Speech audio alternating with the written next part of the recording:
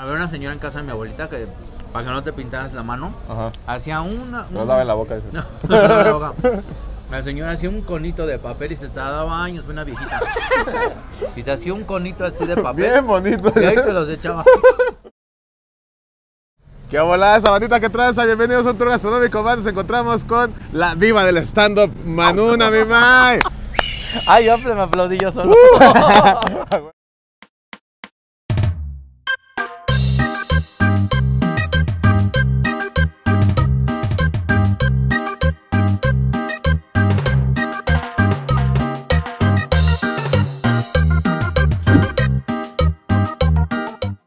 Mi mano, estamos aquí en la estación Hospital General. ¿Ya conoces la zona más o menos? Ya, ya conocemos la zona porque está este, la Roma de aquel lado. La Roma de Yalitza. tú eres muy de la Roma de Yalitza. Tú eres muy de aquí de esta zona de Sí. hipsterona, ¿no, güey? La Roma, la Juárez, este, doctores por aquí. ¿Qué tal se cotorrea por aquí o se come por aquí? Fíjate que bien, ¿eh? Sí, güey. Soy bien puestero yo. De ¿Qué? comer en puesto. No manches. Sí.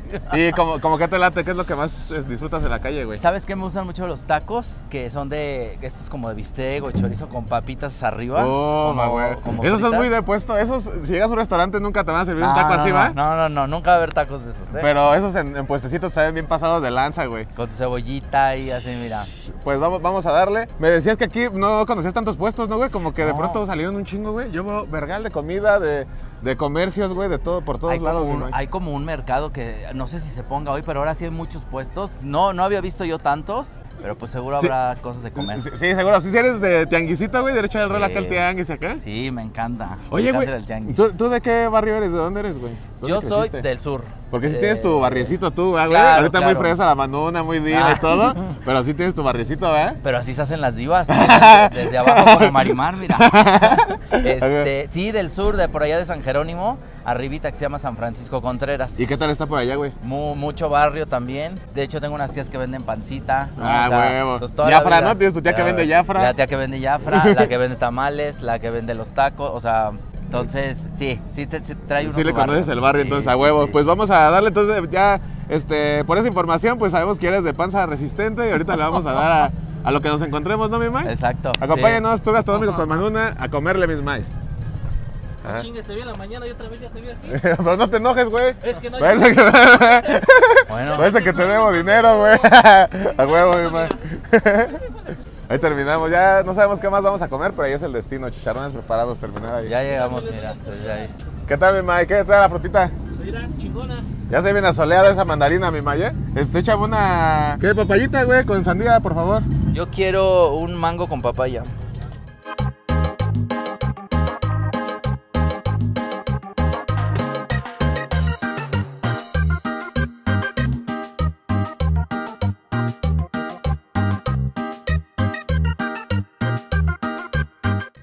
Manu, ¿ya cuánto llevas en el stand-up? Eres de los pioneros, ¿no, güey? Ujú, 12 años, No mames, güey. 13 por ahí. De los que andan ahorita jalando, ¿quién estaba en esas épocas, güey? En esas épocas, fíjate que yo era muy fan, yo. Ajá. Estaba tu Sofía. Ajá. Sofía ya, ya era su No mames, ella también ya lleva un chingo de tiempo, montón. ¿va, güey. Luego un día hicieron un show, hicieron un festival de stand-up, que era la- el segundo festival que hacían, y los ganadores fueron Cojo Feliz y Richo Farrell. Ah, huevo, güey. Y ganaron un taller con Gomis, un gran premio. un saludo a Gomis, que también nos abrió sus puertas, de, las puertas de su, de su show. Ahí nos ponía todo Ahí, ahí, este, todos le abrían o qué Todos le pedo. abríamos, sí, los ¿Y qué, qué tal eran shows difíciles o más sencillos que ahora, güey? Pues bueno, era. Yo creo que no era difícil. O no sé, te prestaba un público que no tenías. Sí, Entonces sí. era llegar a ganarte al público. Porque tú llegas ahorita a un show y la gente va a verte a ti, ya te conoce. Sí, sí, a huevo. Pero cuando, no sé si al principio te pasó, que a mí me pasó una- alguna vez con Richie, Ajá. que era ganarme al público de Richie, que No, es muy pues sí. distinto al mío. Sí, güey. creo que todavía hasta la fecha, Sí. cada vez nos ubican más, pero ir a un show de otra persona que no sea tu público, güey, pues te, te pone las cosas bien distintas porque el público de Richie no, no se ríe de lo mismo que yo hago, güey. Exacto. Es un público acostumbrado a otro tipo de comedia, Sí. güey. Y eran muchos squinkles que veían Vine, nada más. Entonces Ajá. era como hacerlos reír El a TikTok ellos. de, hace una década, ¿no? De hace una década, exacto. El TikTok de hace una década. Sí, porque fue Vine, luego Snapchat y ahora llegó el TikTok. ¿Y tú nunca le entraste a madre de Vine y... ¿Ahorita No. en TikTok estás metiéndole? TikTok hago de repente mis TikToks, Ajá. ¿no? Pero este, no soy TikTokero, ¿no? O sea, lo hago ahí porque sé que tengo que hacer contenido. Ajá. Pero Vine tampoco, lo llegué a hacer ahí como que sí le entendía, pero pues eh, es dedicarte a hacer contenido. Sí, pero de Vine sí salieron ahí varios que ahorita ya sé que ya como creadores de contenido, comediantes que llegaron para quedarse, ¿no, güey? De Vine. Creo que es Lobo salió de allá. El Lobo, el. Creo que el Chumel hacía Vinecillos, ¿no, güey? O era- no, era más de Twitter, ¿no? El Chumel. El Daniel Sosa, güey. El... Daniel empezó a hacer stand-up Ajá. Y luego se metió a Vine. Y Vine lo lanzó así. Di- ¿Es cierto eso que dicen que Daniel cuando empezaba que nadie, lo, nadie le tenía fe, güey? ¿Que lo abrían? ¿Tú llegaste a ver esas yo- cosas? Yo llegué a ver. Yo lo llegué a abrir Yo Yo lo llegué a ver. No, de hecho yo una vez hice un show, les voy a contar, hice un show que Mm. se llamaba, porque yo le ponía conceptos a mis shows, ¿no? Yo producía Ajá. shows, entonces hacía shows de cuatro chavos, cuatro chavas o gente gay, así. Ajá. Entonces hice una vez un show que se llamaba Jóvenes Virges, Vírgenes. Jóvenes. Y Daniel, Daniel me decía, pero yo no soy virgen, es un show, es de risa. Ah, bueno. Dice, es que no soy virgen. Y, eh, pero hacíamos show como cuatro comediantes. ¿no? Ajá. Y una vez me tocó ver a un comediante, que no voy a decir su nombre. A ver, dime, ya se- ya se corta, ¿quién era? Que dijo, güey, no mames, Daniel Sosa, que a huevo quiere abr- abrirme un show. Y yo dije, pues que te lo abre. Me dijo, no, es bien necio, no sé qué. Y no le contestó, lo dejó en visto. No Y mames. dije, verga, güey, ¿qué? O sea, como que en ese entonces no lo, no lo dimensioné. Y luego un día Daniel Sosa, que estaba así en, eh, ¿no? O sea, en la Sí, ya cima, pegó de, pegó de chingadazo ese güey. Y este güey que lo, que le- lo dejó en visto, dije, no, o sea, es un buen comediante, pero no, no a la dimensión de Daniel. ¿no? Entonces dije, órale. Pues Daniel así le cayó un chingo de la boca a un chingo de gente, ¿no? Ah, que lo abría y no sí, lo- sí, sí. Y lo despreciaba al inicio. Güey, ¿tú sufriste eso, güey? Que al inicio la banda estandopera como que te despreciara. No tanto, porque era el comediante diferente. Como Ajá. que decían, ah, es el gay.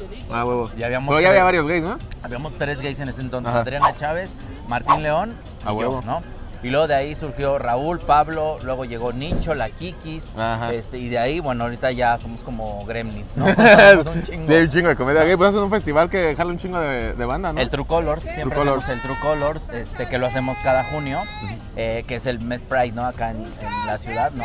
Este, entonces hacemos esos shows de, donde ya somos de verdad más de 20 comediantes, entre gente no binaria, este, trans, gente queer, drag, haciendo, haciendo stand-up, qué ¿no? chido, güey. Entonces eso está, eso está chido, pero en ese entonces como que me hablaban de, ay, es el diferente. Donde yo notaba el que no me hablaran era, por ejemplo, shows privados, Ah, Ajá. empresariales, decían, no, porque es gay. Alguien gay no. Al- Chale, qué mamada. es gay, no. Entonces, pues le hablaban a, a lo- a los que tenían comedia normal, ¿no? Hay que tú, Daniel. Que tíos. Ah, ya, Alex ya. Fernández, ¿no? O sea, como a esta gente que Pero decían- siento que por el tipo de comedia que traes, güey, que es muy para ese tipo de eventos, ¿no? Como empresas, güey. Me imagino que tú las de... Todos esos shows que la mayoría sufrimos o sufren los comediantes, a ti te han de pelar la verga porque tienes un chingo de tablas para pues, esos ambientes, sí, ¿no? porque llegaba y yo decía, a ver, ¿no? O sea, decía, a ver, ¿dónde están mis áreas de oportunidad? Sí, a huevo. Y atacarlas. Tienes una, una improvisación bien cabrona. La banda que no ha visto eh, el show en vivo de Manuna, vaya a verlo cuando tengan chance porque sí trae una improvisación pasada de verga. Eh, ¿Tuviste cuántos años en la pulquería de Insurgentes dando open Como mic? cinco, güey. Cinco años. cinco años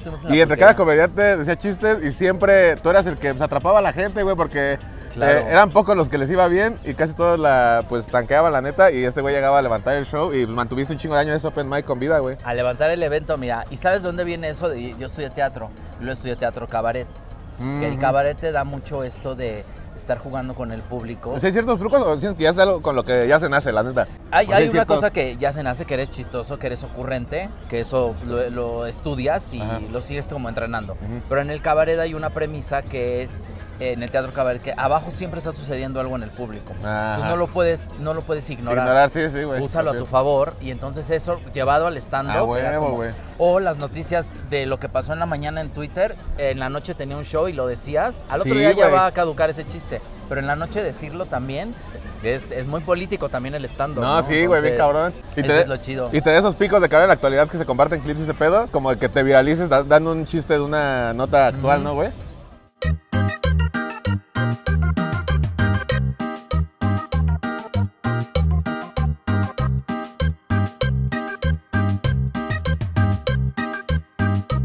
¿Me das una orden de campechanos, mi May, por favor? Y una de birria, carnal.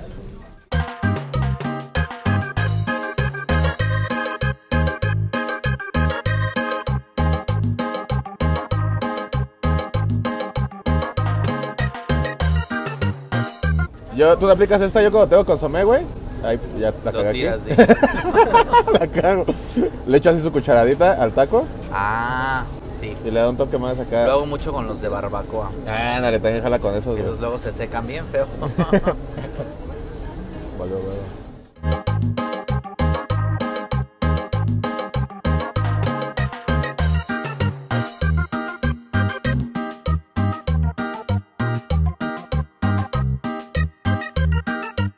Estábamos platicando y echando taquito con el Manu y nos está diciendo que en tu eh, escuela, ¿en dónde era? ¿En Casa Azul? Eh, Que sí te, que te trataba mal la, la banda en la Ah, carrera de no. actuación por, Sí. por el sobrepeso, ¿no? ¿Qué te decían los culeros o qué? que por gordito nunca, nunca lo iba a lograr. Ah, bien sucio este poste. me decían como de, no, pues él nunca lo va a lograr así porque... O sea, se cuchichaban entre ellos y luego me hacían... No me dejaban entrar a mis clases, ¿no? O sea, como que se paraban en, en las escaleras y no me Bien dejaban de seco el pedo, Sí, güey. Era horrible porque yo la pasaba mal. O sea, de verdad decía, por favor que no estén, que no estén. Y grupo de bullying, ya sabes. No mames, güey. Y ya hasta que, pues, bueno, digo, me salí de esa escuela. Ajá. Oye, güey, día- y en las, en las, perdón que te interrumpa, en las carreras de actuación ese pedo, ¿hay gente con sobrepeso, güey, o son pocos? En mi época habíamos tres personas, ¿no? O sea, yo creo que ahora ya está más. ¿Ya hay más? ¿Con que está más abierto más. ese pedo? Pero porque sí había un prejuicio de. Siento que había un prejuicio de, ¿no? O sea, Hasta ahorita, ¿no? Un chingo de gente todavía trae un, un rollo así, güey, de mal pedo. Eh, pues me imagino que sí, hay, sí han de ser lugares donde no hay tanta gente gorda, ¿no, güey?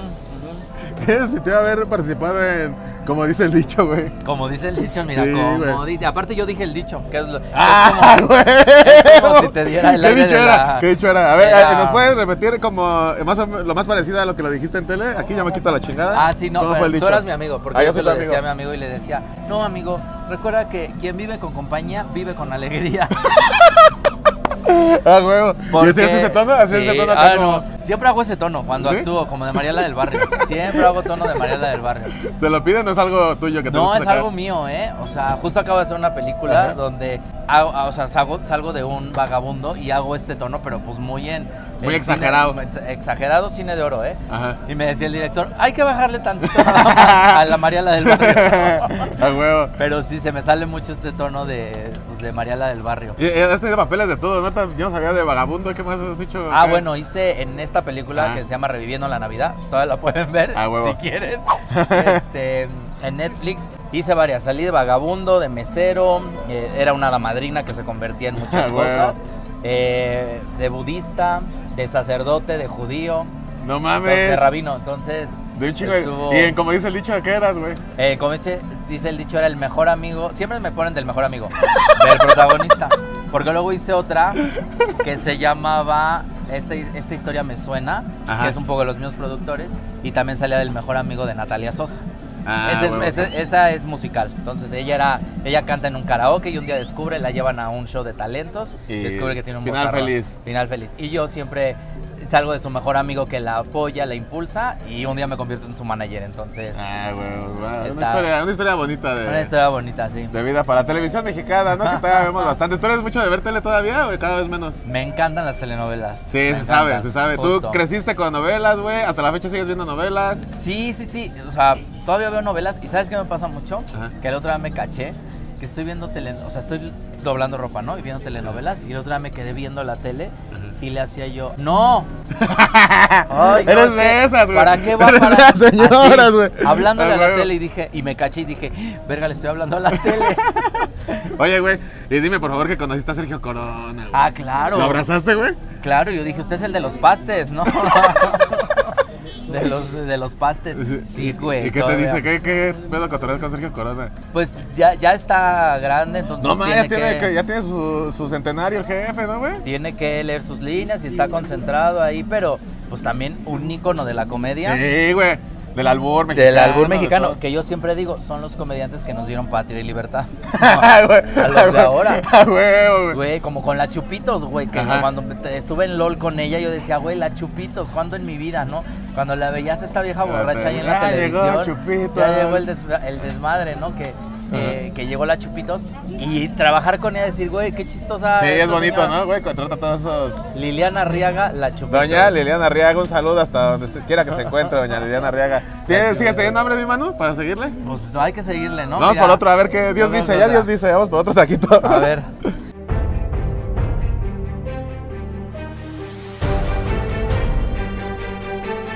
Uh, de todo, jefe.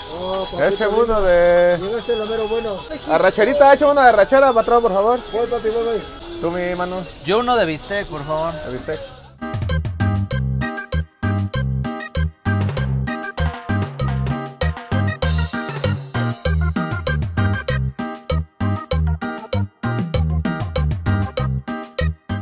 Mira, mis santos, pura carne, nada de hueso, mi maíz.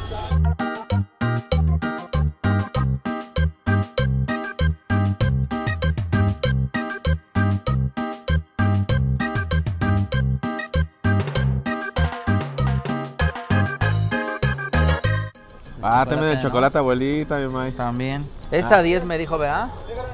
Como las sabritas puro aire, ¿va, mi maíz? ¿Le pones?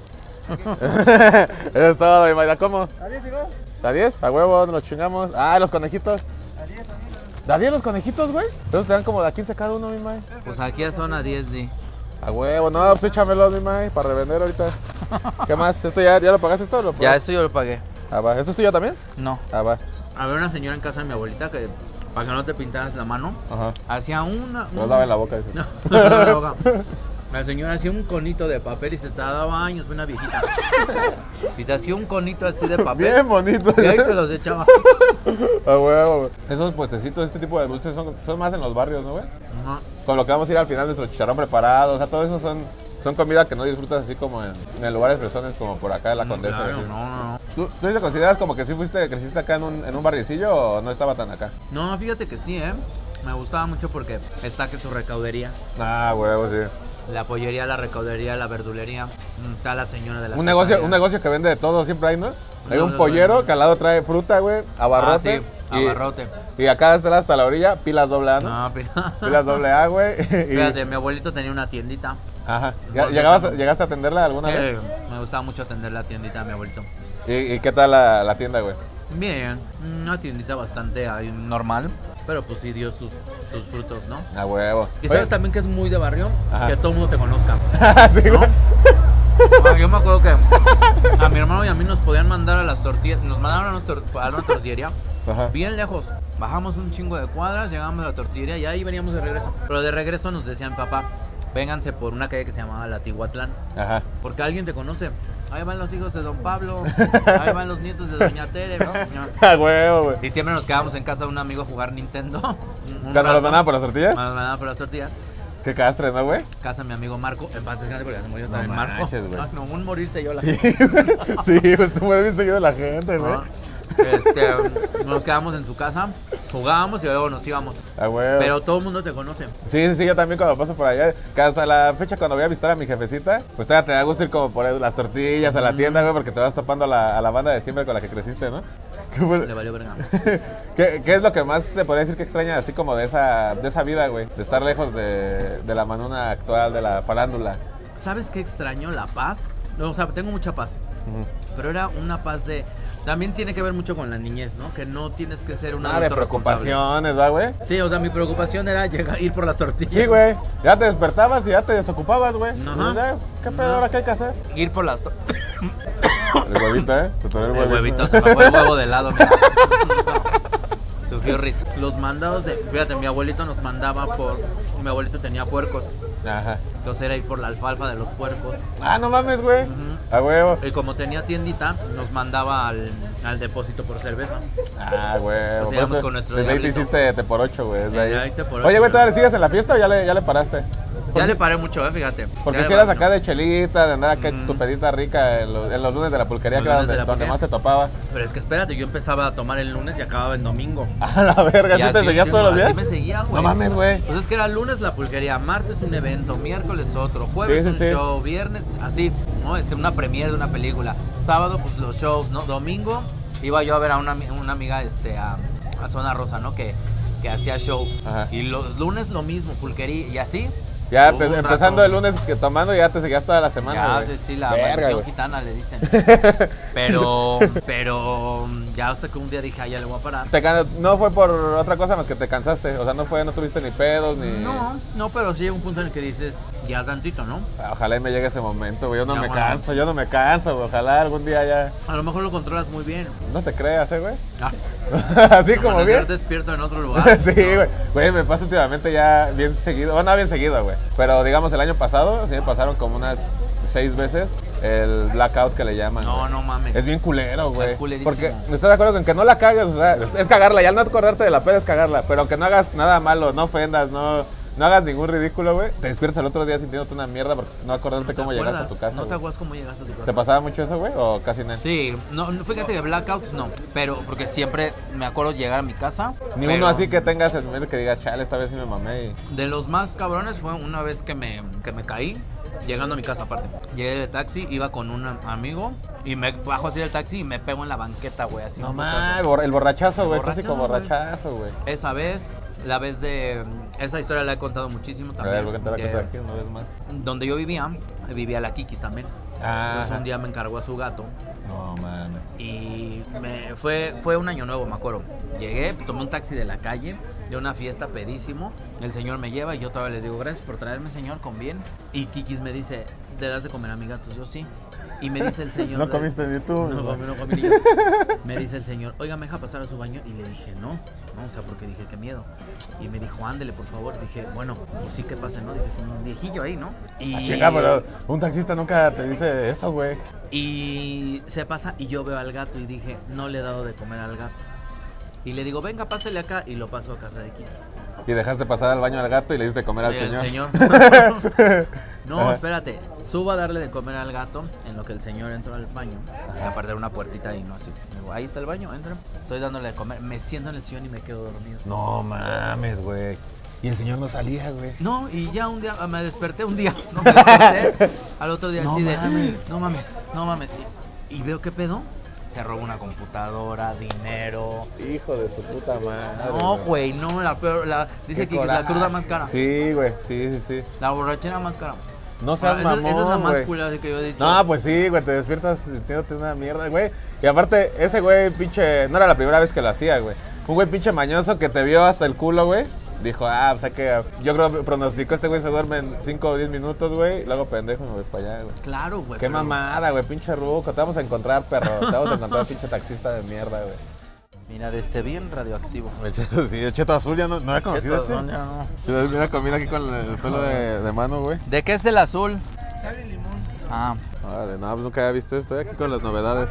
lagrimita, ruedita. Yo, que, ¿cuál es el, el más tradicional? Como la ruedita es muy mexicano, ¿no, güey? Ruedita, ajá, o el toti. El toti, güey. No, sí, el toti. güey. Ah, es campechano, mira, Ah, toti con cheto amarillo. Con este. Nos trae buenas mezclas aquí, mi carnal, ¿eh?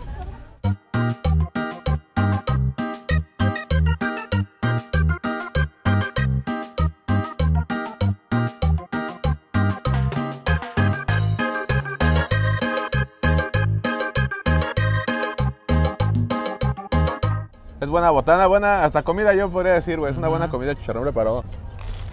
Debería de poner un puesto de chicharrones preparados, mi mano, ¿eh? Nos vamos a ir para arriba. Sí, ahí por, la, ahí por donde vive. En la condesa. Ahí por la condesa, chicharrones preparados. ¿A cómo los daríamos? Ay, sí, no. Bien caros. ¿Sí caros, güey? Este 60 varos. Pero yo creo que el extranjero se volvería fan del chicharrón preparado. Sí. Completamente. Yo también. Oye, güey, ¿hay, hay algún gobernador gay? ¿O alcalde o algo así? Hay uno de, me parece que de Nesa. Peñanito decir, no, no, pero. No, no, me parece que de Nesa. Hay uno no binario, no sé si en algún estado de la ah, República. huevo. de la República este, que se, se, se identifica con ser no binario y hay alguno por ahí este, gay. ¿Qué, opina- qué opinas de eso? ¿Es bien para la sociedad y para, la, para toda la bandita gay que sufre un chingo de cosas? ¿Como que es bien tener esos representantes ahí? ¿O es pura agenda como que nada más los meten ahí como para cumplir con ciertas cosas? ¿Tú qué opinas, güey? Ojalá que no sea agenda. ¿Pero tú qué crees, Eh, Yo, realmente? yo lo que creo es que sí está bien. ¿Si es gente que quiere ayudar Si o...? hay gente que quiere ayudar, si hay gente que quiere visibilizar, que es bien importante la visibilidad.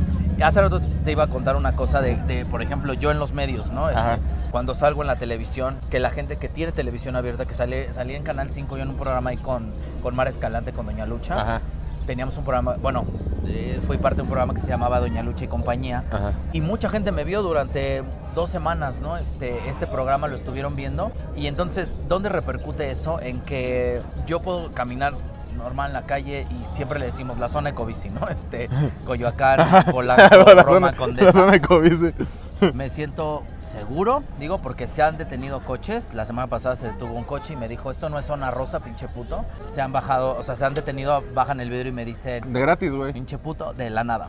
Verga, Pero también, ¿para qué sirve la visibilidad? Para que un día venía yo caminando ahí sobre eje, sobre eje 3, Baja California, y venía una camioneta llena de, de barrenderos, ¿no? Y te da este gay panic, ¿no? Como Sí, que dices, híjole, me van a gritar algo. Porque yo me visto así, como Sí, estoy, como traigo late, mi bolsa sí. y mis uñas normales, ahí vengo y dije, y entonces gritó, gritó uno, ¿qué pedo, Manuna? Y yo, hey, ¿qué pedo? Y me Ah, saludaron güey. todos. Ah, adiós, Manu. Y dije, ah, claro, para eso es la visibilidad. Entonces, Exacto, güey. es importante, justo, estos puestos, eh, que, que- que seamos visibles cada día más y que tengamos las En, mismas en oportunidades. todos los espacios, ¿no, güey? Te pregunté por el gobierno, pero pues en la tele, güey, eh, en deportes, güey, que siento que es como lo más difícil, ¿no? Los futbolistas que son gays les ha de costar un chingo de salir de closet Sí. porque es un deporte muy machista, güey. También, güey, o sea, ¿y cómo van a hacer el closet si están en un ambiente súper machista, súper heteronormado, ¿no? La gente... Por eso yo prefiero las luchas, mi Ahí las La luchas desde los noventas dándole espacio a la comunidad. Ah, claro, Los- claro, Los, luchadores exóticos que le llaman. Ahí está, eh, sí, mi hermana la Mamba, yo tengo una... una- Ah, huevo, una- saludos a Mamba. Allá la Mamba, este, pero, pero qué importante es justo Sí, esa visibilidad, ¿no? Si fuera, hace rato que te decía, ¿cómo no hay mujeres taqueras, no? Sí. O ¿cómo no hay hombres quesadilleros? Que esa es una gran incógnita. Sí. Pero el otro día me tocó un, un señor taquero, que Ajá. era un taquero muy normal, unos tacos que yo voy ahí, ¿no? Ya me echaba mis tacos muy normal este señor. O sea, me refiero que nuestra relación era muy normal de taquero-cliente, ¿no? Ajá. Y de repente un día pasaron unos, un grupo de gays y yo me estaba echando mis tacos ahí y pasan un grupito de gays y dicen, ay, no nos harán daño estos tacos.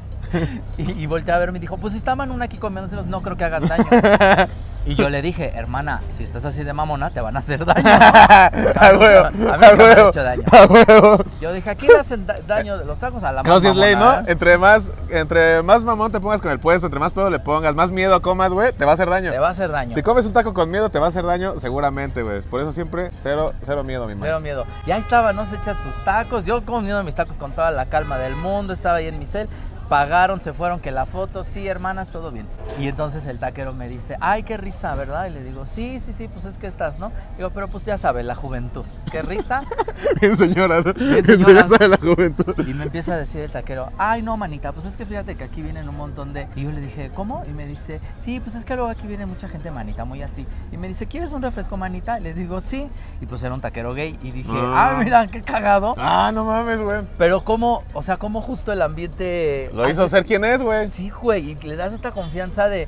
Y empezó a hablarme de manita, manita, y dije, sí, manita. Entonces luego ¿qué pedo, manita? No, Este, A huevo, güey. no, como, como muy así. Y me empezó a contar toda su Y- historia. no, ¿eh? ya de haber sido, de haber platicado un chingo porque la liberación de ese güey siempre estar fingiendo ser el taquero El serio aquí de bigote y acá. Sí, güey, eh, porque me contó toda su historia de que viene de Pachuca, que lo corrió uno de sus hermanos, que tiene una Eh. hermana aquí, que unas sobrinas, que toda su historia me la contó. Y yo decía, claro, esta persona lo único que quiere es salir, ser libre, Sí, güey. Les, les un momento de, pues, de ser, de ser él, güey, por, un, Claro, por un rato, güey. Entonces, qué padre es la visibilidad, qué, Qué padre chingón. que en cada, cada día, en todos los medios, pues estemos ahí, ¿no? En la política, en Qué la bien. sociedad, en la televisión. Y ¿no? aparte que hay un vergal de gente talentosa, güey, de la comunidad, sí, sí, sí, que justo es eso, eh, el talento, ¿no? Que Es, es- eso creo que es lo primordial, ¿no? Que antes de decir como por una cuota que esté un gay en este programa es, pues, güey, los que sean, que siempre y cuando tenga el, el, el talento, ¿no, güey? exacto. ¿Es talentoso? Sí. Sí. ¿no? Y ya, o no, y pues que no esté porque no Ajá, güey. talento, ¿no? Pero no porque sea gay, lesbiana o parte de la, de la comunidad pues ahí Sí. queer, ¿no? Oye, güey, qué chido, güey. Y ahora hace rato decías... Que eh, saludé a nadie. pero fue buen, fue buen cierre de cambio de tema, ¿eh? Fue buen... Güey, estuvo chida esa. Yo también dije, "Ah, chingada, qué verga, ¿A pero... quién saludó? No. Bandita, Oigan, hemos pues, llegado ay. al fin. ¿Qué- ¿Dónde tú, tú, tú, tú, tú? ¿Qué iba a decir? Si hay Ah. un hombre soltero que me escriba. Aquí está Instagram y redes sociales de Ah, Manuna. Facebook, Aquí Twitter, está. Instagram, Grindr, Tinder, no es cierto. En todas estoy como manunísima. ¿Andas activo en YouTube ahorita? Sí. Sí. Ahí está. ¿Cómo se llama el canal de YouTube? También, ma- manunísima. En todos lados también manunísima. Manunísima, ahí está apareciendo. Oye, muchas gracias, güey. Está bien, verga. Siempre es un gusto verte. Y espero y nos sigamos topando en más shows y que regrese tu, pues, Open y demás cosas que hagas porque ahí. estaba, estaba bien cabrón todo ese cotorreo que, trae- que traías de stand-up. Sí, está bueno. Gracias a ti por invitarme y que la gente vea siempre todos los contenidos que, que se hacen ahí, que si en el HBO está todos los reality shows que Güey, estás hecho. un chingo de lados. A ver, dinos, Sí. en diferentes plataformas en las que estás. A Párate ver. el culo, es el momento, Ahí te- él es el momento. Que el Ah. otro día Fran Evia decía, me voy a echar el Manunó, el Manu... Fue como un maratón de Manuna. ah, huevo, a huevo. El manu- El maratón de Manuna. A huevo. Eh, HBO está un reality show que se llama Celebrity Bake Off, Ajá. que es uno de pasteles, ahí me pueden ver. Eh, Divina Comida también en HBO Ah, eso está Max. chido, huevo. Eh, luego en Netflix están dos especiales, simplemente Manuna y Zona Rosa. Ajá. En LOL, en Amazon. Ajá. Y, también está. Y en Netflix está mm, Reviviendo la Navidad. Ah, Esa- No mames, en todas las película, plataformas, güey. No te falta Disney y ya. Disney Plus. Como dice el dicho, este, ¿qué más? Este, Ahí estamos en VIX también doy no- bueno, las noticias ahí siguieron guardadas Ajá. seguramente, pero contenidos, el programa de Doña Lucha lo pueden ver seguramente ahí en VIX A también. huevo. Eh, de él y compañía se llamaba. Entonces, pues sí, muchas cosas. muchas Vamos, qué cosas chido, ahí. qué chido que esté yendo también, güey, que en un chingo de proyectos. Y eh, pues síganlo, sigan a Manuna, güey, comediante talentosísimo, rifadísimo, bien cagado, güey. Y el día que tengan la oportunidad de verlo en vivo, eh, vayan porque lo van a disfrutar bien cabrón, la neta, güey. Por ahí los vemos en el próximo show. ¿sí? ¿Va? Ahí va a más Claro que sí, güey, qué gustazo, güey. Oye, nos, sacamos una copia de algo para aprovechar, ¿no? Oigan, ¿Qué? es que aquí está el de los trámites. ¿Cómo ves? ¿Un trámite? Un trámite. A ver, ¿cómo que, cómo qué trámites nos puedes este, hacer, carnal? Un- ¿Una curp? ¿Un curpcito? El CURP, hacemos no derechamiento, el IMSS, el ISSSTE, ¿Qué quieres? ver ¿Un el Ah, órale, un curva, a ver. A ver, échame un curp, ¿no? A ver qué.